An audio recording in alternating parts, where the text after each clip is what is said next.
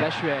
Très bon contrôle de Lachuer orienté pour Sabri Lamouchi. La bonne remise de Guivarch, la frappe de Lamouchi et le but Et l'ouverture du score pour la JOCR après 13 minutes sur cette frappe soudaine de Lamouchi. Et Gaëtan, évidemment, c'est le scénario terrible pour les Lensois et dans le contexte du championnat et dans le contexte de ce match parce que c'est la première occasion, quasiment la première incursion des Auxerrois dans le camp On voit bien ce, ce, ralenti, cette action merveilleuse en jeu à 3.